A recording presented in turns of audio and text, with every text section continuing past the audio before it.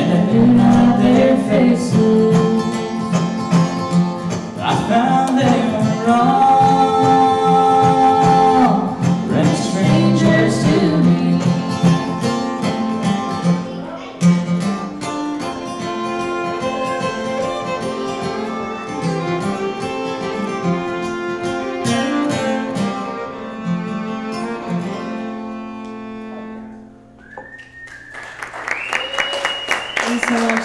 Thank you guys for coming out tonight to our first dynamic duo at the Chord. We're having a lot of fun. Um, we uh, specifically arranged some sets just for here and just our duo um, stuff. As you, as you may know, we play in a band um, together, my band, Shannon and Bielski and Moonlight Drive, and uh, we, we've played here before, and um, it's really cool and interesting to be back here in like a different setting and a different formation. So it's a lot more um, personal and, and quiet and up close.